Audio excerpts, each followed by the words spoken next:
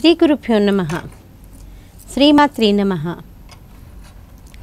మనము కోపం అనేటటువంటి ఒక ఇంద్రియాన్ని మనల్ని మనము ఎలా తగ్గించుకోవాలి? ఆ ఇంద్రియాన్ని నిగ్రహించుకోవటం ఎలా? మరి రామాయణంలో ఉన్నటువంటి పాత్రలు ఆ ఉన్నటువంటి సన్నివేశాల నుంచి కొన్ని పాత్రలు వారి కోపాన్ని వారు నిగ్రహించుకోవటం వల్ల ఎటువంటి గొప్పతనాన్ని పొందాయి. అలాగే ఏ ఏ పాత్రలు ఆ కోపాన్ని నిగ్రహించుకోలేకపోవటం వల్ల ఎంతటి దుస్థితిని పొందాయి. చరిత్రలో వీరి పేరు వారి పేరు కూడా ఎలా చిరస్థాయిగా ఉండిపోయింది అన్నటువంటి విషయం గురించి తెలుసుకుంటూ ఉన్నాము. నిజానికి చిరస్థాయిగా చాలా గొప్ప పేరు తెచ్చుకున్నది గౌతమ మహర్షి.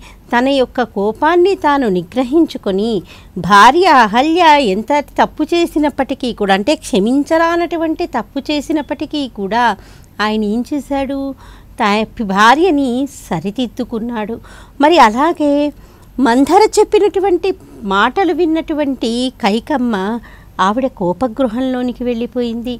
కోపగృహంలోనికి వెళ్ళినటువంటి ఆ యొక్క కైకేయి కోరరానటువంటి కోర్కెలు కోరి రామాయణం అనేటటువంటి మహాగ్రంథము ముందుకు వెళ్ళటానికి ఆవిడ యొక్క కోపం తోడ్పడింది. నిజానికి మనకు అనిపిస్తుంది కైకేయి ఎందుకు అలా ప్రవర్తించింది? కైకమ్మ అలా ప్రవర్తించడానికి కారణం ఏంటి అసలు అంతటి పని మనిషి అయినటువంటి మందర చెప్పినటువంటి మాటలు విని ఎందుకు ఆ రకంగా ప్రవర్తించిందన్నటువంటి ఆలోచన కలిగితే మనకి రామాయణంలో దీనికి సంబంధించినటువంటి వివరణ ఇవ్వలేదు. కానీ మనకి మహాభారతంలో ఒకానొక సందర్భంలో దీనికి సంబంధించినటువంటి సూచన ఒకటి చేశారు ఆ గ్రంథంలో. ఏంటంటే ఈ మంథర కూడా ఒకనొక సందర్భంలో ఆవిడ యక్షకన్యగా ఉన్నప్పుడు రావణాసురుడి చేత బాధింపబడినటువంటి సుందరాంగి ఈ మంథర ఎంతో బాధపడుతూ ఆవిడ బ్రహ్మని వేడుకుంటే నీ వల్లనే ఆ యొక్క రావణాసురుడి యొక్క మరణం సంభవిస్తుందని ఆయన వరమిచ్చాడు. అందుకే మంధర ఆ రకంగా ప్రవర్తించి కైకమ్మ యొక్క మనసు పూర్తిగా మారేటట్టు. ఎందుకంటే కౌసల్య కంటే కూడా కైకమ్మ రామచంద్రమూర్తిని ఎంతో ప్రేమగా పెంచింది. ఎందుకు? తన యొక్క సుగుణాల చేత రామచంద్రమూర్తి అంతమందిని మెప్పించగలిగాడు. మరి ఎంతో ప్రేమగా పెంచినటువంటి కైకమ్మ కూడా చివరిలో ఇలాంటి ఆలోచన కలిగి తన కొడుకైనటువంటి భరతుడికి పట్టాభిషేకం చేయాలని రామచంద్రమూర్తిని అడవులకి పంపించాలని కోరటంలో అంతరార్థం అదే. కాబట్టి కైకమ్మ ప్రవర్తించిన తీరుకి మనకి ఏదో ఒక రకంగా కథ మలుపు తిరగడానికి అది నాంది అయింది. కానీ కారణం ఏమైంది? ఆవిడ చిరస్థాయిగా చరిత్రలో మిగిలిపోవటానికి ఆవిడ యొక్క కోపమే దానికి కారణమైంది.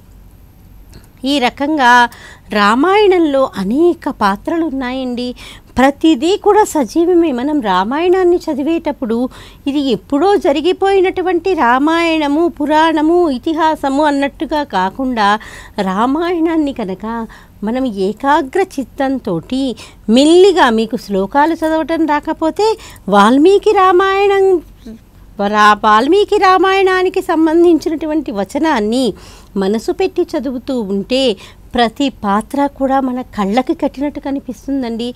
మనకి తెలియకుండానే కొన్ని సందర్భాల్లో మన కళ్ళు చెమ చెమరుస్తాయి. ఒంటికి గగురుపాటు అన్నది కలుగుతుంది. ఓహో వారు కూడా ఎంత బాధపడ్డాడు? అంతటి శ్రీరామచంద్రమూర్తి కూడా మానవ అవతారంలో వచ్చి ఎన్ని కష్టాలను అనుభవించారు? అంతటి సీతమ్మ తల్లి భూజాత అటువంటి తల్లి కూడా ఎన్ని కష్టాలు పడి పడింది? అంతటి మహారాజులకే తప్పలేదు అంతటి అవతార పురుషులకే తప్పలేదు. ఇక మనమెంత? మనం పడేటటువంటి కష్టాలు వాళ్ళు పడ్డటువంటి కష్టాల్లో ఏమాత్రం ఉన్నాయి అని ఉంచుకొని నిలబడగలిగినటువంటి శక్తి మనం ఇటువంటి ఇతిహాసాలని చదవటం వల్ల కలుగుతుంది. ఇది చదవటమే కాదండి. మనకి తెలిసినటువంటి విషయాన్ని నలుగురికి పంచిపెట్టాలి కూడా. అలా పంచిపెట్టినప్పుడు ఏం జరుగుతుంది? చిన్న చిన్న విషయాలకే జీవితాన్ని అంతం చేసుకుంటున్నటువంటి ఎంతోమంది యువత ఉంచుకొని నిలబడగలుగుతారు. ఎందుకు? ఈ కష్టమే పాటిది. జీవితంలో ఈ చిన్న కష్టానికే నేను విచలితుడనైపోయి ఆత్మహత్య చేసుకుంటే రేపొద్దున నా తల్లిదండ్రులు ఏం చేస్తారు? నా తోబుట్టువులు ఏం చేస్తారు? నా కోసం వాళ్ళు ఎంత బాధపడతారు? అన్నటువంటి ఆలోచన కలిగి ఆనాడు రామాయణంలో రామచంద్రమూర్తి ఏం చేశాడు? ఇటువంటి కష్టం కలిగినప్పుడు అని ఆలోచన కలిగినంత మరుక్షణము వాళ్ళు ఆ తప్పు చేయటానికి వెనకడుగు ఇస్తారు అందుకని మనకి తెలిసినటువంటి విషయాన్ని నలుగురికి చెప్పే ప్రయత్నం చేయాలి. అందున యువతకి పిల్లలకి మనం చెప్తూ ఉన్నామనుకోండి మొదట వారికి విసుగ్గానే ఉండవచ్చు. ఎందుకంటే ఎవరికైనా కానీ ఒక మంచి పని అంటే వినాలన్నా చెయ్యాలన్నా చాలా కష్టంగానే తోస్తుంది. ఎందుకు మనసు తొందరగా దాన్ని గ్రహించేటటువంటి స్థితిలో ఉండదు. ఎప్పుడూ కూడా మనసు ఏం కోరుకుంటుంది? ఎప్పుడూ కూడా లౌకికమైనటువంటి ఆనందం కోసమే మనసు తహతహలాడిపోతూ ఉంటుంది. అంతేకాని మనల్ని మనం ఉద్ధరించుకునేటటువంటి దిశగా మన మనసు మనల్ని అటువైపు అడుగులు వేయనీయదు. ఎందుకు? ఇదివరకటి కాలంలో అంటే రాక్షసులు అంటూ విడిగా వివిధ రూపాలలో ఉండి భయంకరమైనటువంటి ఆకారాలతో ఉండి వారిని చూసి చూడగానే వీరు రాక్షసులు వీళ్ళ ప్రవృత్తిని బట్టి మనం రాక్షసులు అనొచ్చు అనిపిస్తుంది. కానీ కలియుగం వచ్చేసరికి రాక్షసులంటూ విడిగా ఎవరు ఉండరండోయ్? రాక్షసులంటూ ఎక్కడుంటారు? మన మనసులోనే దాగుకొని ఉంటారు. మన మనసులోనే ఉండి మనం ఏదన్నా మంచి పని చేద్దాము అనుకున్నామనుకోండి వెంటనే ఆయన అడ్డుకట్టు వేస్తారు. అడ్డుకట్ట వేసి అంటే మన మనసే ఒక రకంగా మంచికైనా చెడుకైనా తార్కాడం దాన్ని ఎప్పుడూ కూడా సంస్కరించుకుంటూ ఉండాలి. నేను ఇలా ఉండకూడదు. నేను నన్ను నేను ఉద్ధరించుకోవాలన్నటువంటి దిశగా ఎల్లవేళ్ళ ఎందు మనము మన మనసుని సంస్కరించుకుంటూనే ఉండాలి. అదే మన అభ్యున్నతికి హేతు అవుతుంది. మనకే కాదండి మన జీవుడు అభ్యున్నతిని పొందాలన్నా అదే తార్కాణమవుతుంది. కాబట్టి ఈ యొక్క ఇతిహాసాలని మనం చదవటం వల్ల ఎన్నో విషయాలు మన మనసు పట్టుకుంటుంది అంటే చదివామంటే ఏదో చదవటం కాదు విన్నామంటే ఏదో వినటం కాదు. దాన్ని పట్టుకునేటటువంటి దిశగా ముందుకు అడుగులు వేయాలి. అసలు నిజానికి ఈ కోపం గురించి చెప్పుకుంటూ పోతే మనకి ఎన్ని వస్తున్నాయండి ఉదాహరణలు? ఇవన్నీ వింటుంటే మనలో కూడా ఒక సంస్కరణ అన్నది మొదలవుతుంది. అయ్యో నేను కూడా నా యొక్క కోపాన్ని నిగ్రహించుకోవాలి. ఎన్నో విషయాలలో నేను కోపం తెచ్చుకోవటం వల్ల నా భార్య నుంచి నాకు విముఖత లభిస్తోంది. నా పిల్లల నుంచి నాకు విముఖత లభిస్తోంది. అలాగే మనవళ్ళు మనవరాళ్ళు కూడా చీ తాతయ్య ఎప్పుడు కూడా కోపడుతూనే ఉంటారు. లేకపోతే నాయనమ్మ ఎప్పుడు కూడా కోపడుతూనే ఉంటుంది. అన్నటువంటి ఆలోచనతో వారు నాకు దూరం అవుతున్నారు వారి ప్రేమ ఆప్యాయతలకి నేను పూర్తిగా చూరగొనలేకపోతున్నాను. కాబట్టి నన్ను నేను దిద్దుకో దిద్దుకోవాలి ఇది ఎవరికీ చెప్పక్కర్లేదండి. మనం మన మనసులో నిర్ణయించుకోవాలి గట్టిగా. ఈ రోజు నుంచి నేను కోపం తెచ్చుకోని ఎక్కువగా కోపం వచ్చినప్పుడు నన్ను నేను సంస్కరించుకునేటటువంటి పనులు చేస్తాను. అంటూ కనుక మనము ఒక నిబంధన ఏర్పాటు చేసుకున్నామనుకోండి తప్పకుండా మనలో మార్పు వచ్చి తీరుతుంది. ఆ మార్పు కోసం ప్రతి ఒక్కరం కూడా ప్రయత్నించి తీరాల్సిందేనండి. ఇది ఎప్పుడో రేపో ఎల్లుండో మొదలు పెడతానని అనుకోవటం కాదు.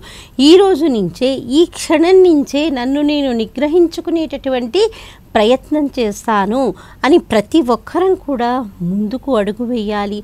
అలా అడుగు వేసిన మరుక్షణంలో మన ఇంద్రియాల అన్నిటినీ కూడా మనము నిగ్రహించుకోగలుగుతాము. మరి ఇంతటి రామాయణంలో కూడా ఒకనొక సందర్భంలో పార్వతీదేవి కోపానికి వశమవుతుంది. ఏ రకంగా అంటారా? విశ్వామిత్రుల వారు రామచంద్రమూర్తిని తీర్చిదిద్దారు. మనం ఎన్నో సందర్భాల్లో చెప్పుకున్నాము. ఒక మట్టి ముద్దను తీసుకొచ్చి మన ఎదురుగా పెట్టుకున్నామనుకోండి దానికి ఎటువంటి రూపము కూడా ఉండదు. కానీ అదే మట్టి ముద్దని ఒక ప్రమిదగానో లేకపోతే ఒక దేవతామూర్తిగానో మనమే తయారు చేసుకున్నామనుకోండి వెంటనే మనం దానికి ఏం చేస్తాము? ధూప దీప నైవేద్యాలు పెట్టి ఆ మూర్తిని ఆరాధన చేస్తాము. అంటే ఆ మట్టి ముద్ద ఒక దేవతామూర్తిగా తీర్చిదిద్దపడడానికి మనలో ఉన్నటువంటి నైపుణ్యమే దానికి కారణమైంది. మరి రామచంద్రమూర్తి అంతటి సుగుణాల రాముడిగా తీర్చిదిద్దబడడానికి కారణం ఎవరు వశిష్ఠుల వారు విశ్వామిత్రుల వారు వశిష్ఠుల వారు విశ్వామిత్రుల వారు రామచంద్రమూర్తిని ఆ లాగున తీర్చిదిద్దారు. మరి ఆయన విశ్వామిత్రుల వారు యాగ సంరక్షణార్థం తీసుకొని వెళ్ళేటప్పుడు అనేక విషయాలను వీరికి బోధిస్తూ అక్కడ గంగా నది వస్తే గంగావతరణం గురించి చెప్పే సందర్భంలో ఆయన సుబ్రహ్మణ్యోత్పత్తి కూడా చెప్తారు. వాల్మీకి మహర్షి దేనికి కూడా ఒక ఫలితం అంటూ చెప్పలేదు రామాయణంలో. కానీ గంగావతరణానికి అలాగే ఈ షణ్ముఖోత్పత్తికి తప్పకుండా ఫలితాన్ని చెప్పారు. ఎందుకు చెప్పారు? అది అంత గొప్పనైనటువంటిది కాబట్టి. మరి ఎన్నో అవాంతరాల తర్వాత ఎన్నో కారణాల ఎన్నో జ కా ఎన్నో ఇతిహా ఎన్నో మలుపుల తర్వాత పార్వతీ కళ్యాణం జరుగుతుంది. శివపార్వతులు ఇద్దరికీ కూడా కళ్యాణం జరిగిన తర్వాత వారిద్దరూ కూడా అనేక వేల దివ్య సంవత్సరాలు ఇద్దరూ కూడా ఆనందాన్ని అనుభవిస్తూ ఉన్నారు. నిజానికి చూడండి ఒక్కొక్కసారి అసూయ చేత అయి ఉండొచ్చు ఈర్ష్య చేత అయి ఉండొచ్చు. ఒక మనసులో ఒకటి ఆలోచన కలిగిందనుకోండి అది అనేక రకాలైనటువంటి అవాంతరాలకి కారణమవుతుంది. అసలు అలాంటి ఆలోచన రావచ్చా? రాకూడదా? అన్నటువంటి ఆలోచన కూడా లేకుండా ఏం చేస్తాము? మనం ఏం వెంటనే మనం మన ప్రణాళికని మనకంటే పెద్దవాళ్ళ ముందు పెడుతూ ఉంటాం. తల్లిదండ్రులై ఉండొచ్చు. మనం పనిచేస్తున్నటువంటి ఆఫీస్లో మనకంటే పై స్థాయిలో ఉన్నటువంటి వారై ఉండొచ్చు. ఎవరైనా కానీ ఒక్కొక్కసారి మనం ఆలోచించకుండా చేసేటటువంటి నిర్ణయాల వల్ల చేసినటువంటి పనుల వల్ల అనేక రకాలైనటువంటి దుష్పరిణామాలు కలుగుతాయి. ఉన్నటువంటి దేవతలందరికీ కూడా ఎలాంటి ఆలోచన కలిగింది? అరే శివపార్వతులు పరమశివుడు అంటేనే మా మహా తేజోమూర్తి. మరి పార్వతీదేవో ఆవిడే చింతామణి. మరి అలాంటి తేజోమూర్తి ఇలాంటి ఇద్దరికీ కలిగేటటువంటి సంతానము ఇంకా గొప్పనైనటువంటిది అయి ఉంటుంది. వారి యొక్క తేజస్సుని మనం పట్టుకోజాలము. కాబట్టి మనం వెళ్ళి పరమశివుడిని తన యొక్క తేజస్సుని పార్వతీదేవిలో వదలకుండా మనము అడ్డు పెడదామన్నారు. అసలు నిజానికి ఇదేమన్నా సరైనటువంటి ఆలోచన ఏంటండి అసలు వివాహం చేసేది ఎందుకు? అంటే భగవంతుడికి చేసేది కళ్యాణం అంటాము మామూలుగా వివాహం చేసేదే ఎందుకు? సంతానం కోసం చేస్తాము సంతానం కోసమే కదా. ఎందుకంటే దాని యొక్క సంకల్పం కూడా ఆ రకంగానే ఉంటుంది. మరి దేవతలందరికీ కూడా ఇది పనికి రమాలినటువంటి ఆలోచనే కదా. కాబట్టి దేవతలందరూ ఏం చేశారు? కైలాస పర్వతం దగ్గరికి వెళ్ళి పరమశివుణ్ణి ప్రార్థన చేశారు. పరమశివుడు అప్పుడు పార్వతీదేవితో క్రీడిస్తూ ఉన్నాడు. వెంటనే ఆయన దేవతలందరూ పిలిచేసరికి బయటికి వచ్చారు. బయటికి వచ్చినటువంటి పరమశివుడు ఏమిటి అని అడగగా దేవతలందరినీ అయ్యా మీరు మహాతేజోమూర్తి మరి అమ్మవారో? ఆవిడ తేజస్సు కూడా అంత గొప్పనైనటువంటిదే మరి మీకిద్దరికీ ఇప్పుడు కలిగేటటువంటి సంతానం యొక్క తేజస్సుని భరించటం చాలా కష్టం. కాబట్టి మీ తేజస్సుని పార్వతీదేవి ఎందు నిక్షిప్తం చెయ్యొద్దు. పార్వతీదేవి ఎందు నిక్షిప్తం చెయ్యకుండా మీరు యొక్క మీ తేజస్సుని బయటికి వదిలివేయండి అనగానే అప్పుడు పరమశివుడు ఏమన్నాడు? ఆయన ఏంటి? భక్త సులభుడు. దేవతలు చెప్పింది విని ఆయనకి ఎటువంటి చరణము కూడా ఉండదు. భోళాశంకరుడు భక్తవ శంకరుడు కాబట్టి ఆయన ఏంటి? మనం పొగిడినా పెద్దగా చలించడు. మనం ఏమన్నా ఏంటి శంకర ఇలాంటి పని చేసామని మనం ఏదన్నా కోప్పడినా కూడా దాన్ని కూడా మనం చేసేటటువంటి ఒక పూజగానే ఆయన భావన చేస్తాడు. కాబట్టి దేవతలందరూ అడిగినటువంటి ప్రశ్నకు ఆయన ఏం చేశాడు? నిజమే కానీ నేను కొన్ని దివ్య వేల దివ్య సంవత్సరాల నుంచి పార్వతీదేవితో నేను క్రీడిస్తూ ఉన్నాను. ఇప్పటికే నా యొక్క రేతస్సు స్ఖలనమైపోయింది. కాబట్టి దీన్ని ఆపటం ఇప్పుడు సాధ్యమయ్యేటటువంటి విషయం కాదు. ఈ రేతస్సుని భరించగలిగినటువంటి శక్తి ఏదైనా ఉందా అని అడగగానే అందరికీ గుర్తుకొచ్చింది ఎవరో తెలుసా అండి? భూదేవి గుర్తుకొచ్చింది. ఎందుకంటే అన్నీ భరించేది ఆ తల్లే కదండి. అసలు మనల్ని నడిపిస్తుంది. మనల్ని గట్టిగా కాలితో తన్నినా దున్నినా కూడా ఆ తల్లి ఏమనదు. విసర్జించాల్సిన వచ్చినా కూడా మళ్ళీ మనం ఆ తల్లిపైనే విసర్జిస్తూ ఉంటాం. మనం ఇల్లు కట్టుకోవడానికి కాల కావలసినటువంటి ముడి అంతా కూడా ఆ భూదేవిలో నుంచే వస్తుంది. అంత క్షమాగుణము అంతటి ఓర్పు కలిగినటువంటి తల్లి కాబట్టి వెంటనే ఆ యొక్క దేవతలందరూ ఏం చెప్పారు? మీ రేతస్సుని భూదేవి స్వీకరిస్తుంది అని చెప్పగానే పరమశివుడు ఏం చేశాడు? ఆయన యొక్క రేతస్సుని భూమి మీద వదిలేశాడు. భూమి మీద వదిలేసేయగానే వెంటనే పార్వతీదేవి తన యొక్క కైలాస పర్వతంలో నుంచి బయటికి వచ్చి జరిగిన విషయం తెలుసుకుని చాలా ఆగ్రహానికి లోనవుతుంది. ఎందుకు? తనని అమ్మని కాకుండా చేసినందుకు ఏ స్త్రీకైనా ఎంత కోపం వస్తుందండి? పెళ్ళైనప్పటి నుంచి కూడా ఎవరైనా కోరుకునేది ఎవరు? ఏంటి? అమ్మ అన్నటువంటి పిలుపు కోసమే పరితపిస్తూ ఉంటాము. మరి ఆ జగజ్జననికి కూడా అంతే కదా? ఆవిడ కూడా స్త్రీ స్వభావంతో మనం కనుక ఆలోచిస్తే ఆవిడ జగజ్జన్ని మాంగళ్య స్వరూపిణి అని ఆలోచించకుండా ఒక స్త్రీగా మనము ఆలోచనిస్తే కనుక మరి ఆవిడకి కూడా ఉంటుంది కదండి. తల్లి కావాలన్నటువంటి తపన నేను తల్లిని కాకుండా మీరు మీ యొక్క ఆలోచనతోటి ఇలాగున చేశారు కాబట్టి ఇక మీకు దేవతలు ఎవరికీ కూడా సంతానం కలగదు అనేసి ఆవిడ శాపవాక్కు విడిచిపెట్టింది. అందుకే చూడండి ఎన్ని యుగాలు గడిచినప్పటికీ కూడా మన ముప్పై మూడు కోట్ల మంది దేవతలే అని చెప్పుకోవడానికి కారణం అదే. ఇక దేవతల యొక్క సంతానము పెరిగేటటువంటి అవకాశం లేదు. ఆ తల్లి యొక్క శాపం చేత వీళ్ళు ఒక కోరిక కలిగి కో కోరేసరికి ఆ తల్లికి కోపంతో వచ్చినటువంటి శాపవాక్కు. మరి రేతస్సుని భూమి తీసుకుంది. తన యొక్క భర్త యొక్క రేతస్సుని భూమి స్వీకరించింది కాబట్టి భూమి మీద కూడా ఆవిడకి కోపం వచ్చింది. నువ్వు ఎలా నా భర్త యొక్క రేతస్సుని స్వీకరిస్తావు? ఏ స్త్రీ అయినా దాన్ని స- సహించగలుగుతుందా? అంటూ ఆ తల్లికి చాలా కోపం వచ్చి భూమిని నువ్వు అనేక రూపాలతో ఉంటావు. అలాగే నీకు ప భర్తలు కూడా చాలామంది ఉంటారు. నీకు కొడుకు తండ్రి ఇద్దరూ కూడా భర్తలే అవుతారు. కాబట్టి నీకు ఇలాంటి శాపవాకు విడిచిపెడుతున్నాను అంటూ భూమాతని ఎలా శపించింది? అందుకే చూడండి. కొన్ని ప్రదేశాల్లో భూమి చాలా సమతలంగా ఉంటుంది. కొన్ని ప్రదేశాల్లో సస్యశ్యామలంగా మైదానంలంగా ఉంటుంది. కొన్ని ప్రదేశాలకు వెళ్ళేటప్పుడు పర్వత రూపాన్ని దాలుస్తుంది ఇంకో కొన్ని ప్రదేశాలలో ఇసుకతోటి ఎడారిలా ఉంటుందంటే ఆ తల్లి అప్పటి నుంచి అనేక రూపాలని పొందింది. అలాగే అనేక మంది భర్తలు అని అంటే కూడా ఇప్పుడు రాజు కాలం చేశాడనుకోండి అప్పటి వరకు పరిపాలిస్తున్నటువంటి రాజు అప్పటి వరకు భూమాతకి భూపతి. అలాగే మరి ఆ రాజు గతించాడనుకోండి వెంటనే కొడుకుకి పట్టాభిషేకం చేస్తాం. అప్పుడు కొడుకు కూడా భూమాతకి పతే అవుతాడు. అంటే ఈ రకంగా వరుస లేకుండా కొడుకు కూడా భర్తగా పొందేటటువంటి శాపవాక్కుని ఆ భూమాత పొందింది. మరి పోనీ ఆ రేతస్సుని స్వీకరించినటువంటి భూమాత ఏమన్నా బిడ్డని కన్నదా అంటే ఆ బిడ్డని కనలేదు సరికదా? ఆవిడ యొక్క ఆ తేజస్సుని భరించలేకపోయింది. ఆ వేడి తట్టుకోలేకపోయింది.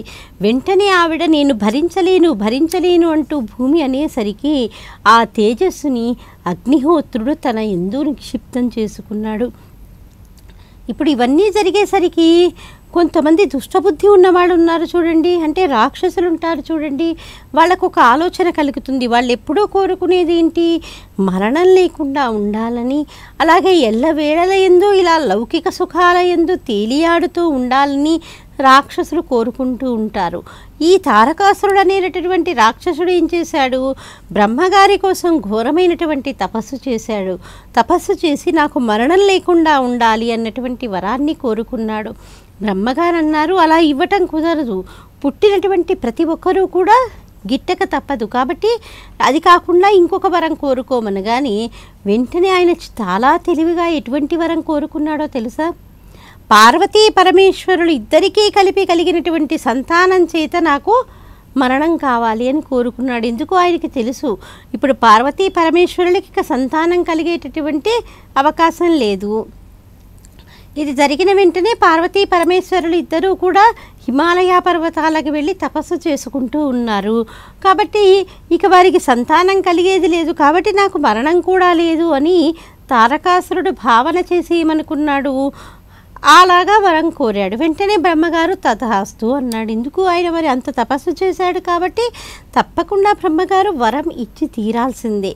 మరి ఆయన తథాస్తు అనగానే మరి ఆయనకి యొక్క ఆగడాలకి అంతు లేకుండా పోయింది. ఎందుకు ఆయనకి వరం వచ్చింది కదా? ఇక ఆయన ఎన్ని పనులైతే చేయకూడని ఉంటాయో అన్ని పనులను చేస్తూ దేవతలను ఋషులను అందరినీ కూడా బాధ పెడుతూ ఇక భగవంతుడనేవాడే లేడు నేనే భగవంతుడు అన్నటువంటి రీతిగా ప్రవర్తిస్తూ ఉంటే మళ్ళీ దేవతలందరూ కూడా ఏం చేశారు? పెద్ద తలకాయ కాబట్టి మళ్ళీ బ్రహ్మగారి దగ్గరికే వెళ్ళి మొరపెట్టుకున్నారు. ఇప్పుడు ఏం చేద్దాం మనము?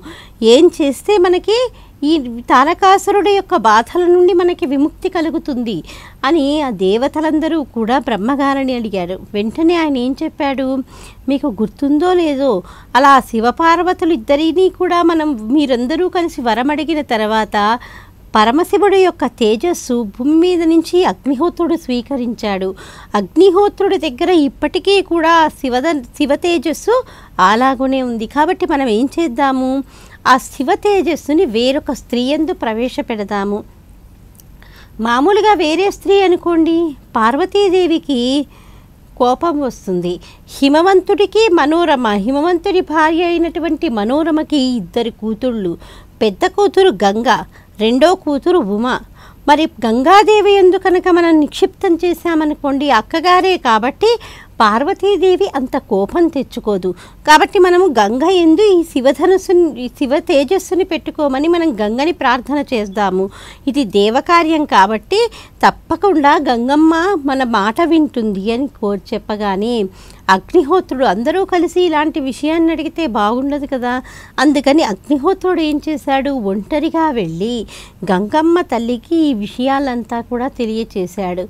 దేవకార్యం కాబట్టి ఆ తల్లి శివ తేజస్సుని స్వీకరిస్తానని చెప్పింది. ఏదైనా కానీ భార్యాభర్తలు కూడా ఆయన అయి ఉండొచ్చు.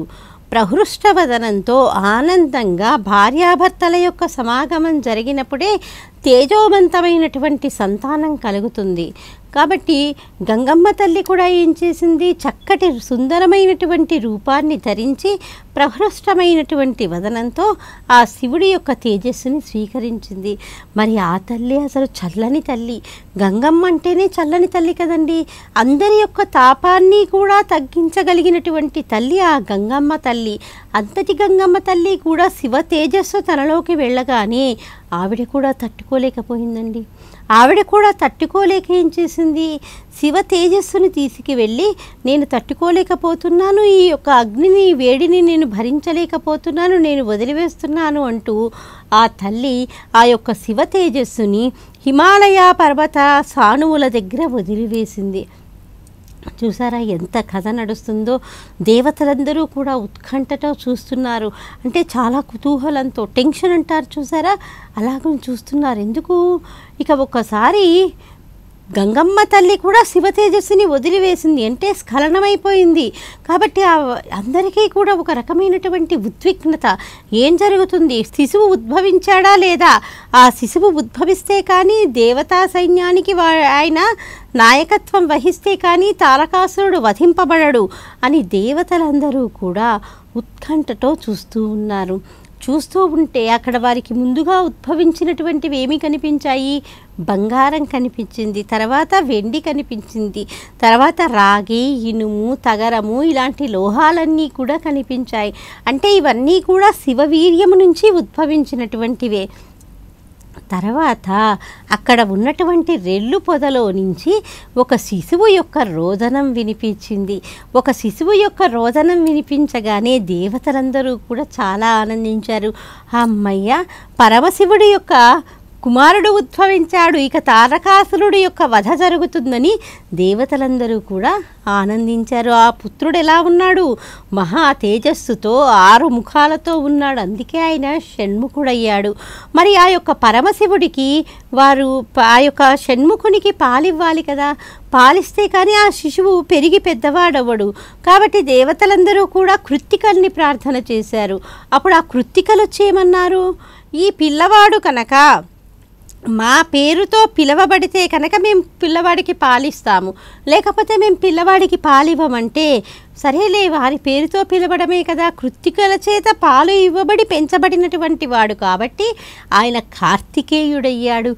కృత్తికల ఆరుగురు కూడా ఆ యొక్క షణ్ముఖునికి ఆరు ముఖాలతో ఉన్నటువంటి ఆ యొక్క శిశువునికి శిశువుకి పాలందించారు. అందుకని ఆయన కార్తికేయుడయ్యాడు. దేవతలందరూ కూడా ఎంతో ఆనందించారు. కార్తికేయుడు ఉద్భవించాడన్నటువంటి ఆనందంతో దేవతలందరూ ఆనందించారు. మరి ఇలా రెల్లు బొ రెల్లు పొద మీద ఎందుకు ఆయన ఉద్భవించినట్టు? ఆయన ఒక శరవణ తటాకం అనేటటువంటి ప్రదేశం నుంచి ఆయన ఉద్భవించటానికి కారణం కూడా ఉందండి. ఇప్పుడు ఈ శిశువు ఉద్భవించాడు కదా ఆ షణ్ముఖుణ్ణి పాలుగారే బుగ్గలతో ఉన్నటువంటి ఆ చిన్ని బాలుణ్ణి మనం అలాగే గుర్తు చేసుకుంటూ మిగతా విషయాలని మళ్ళీ మన కార్యక్రమంలో విందామమ్మా. స్వస్తి.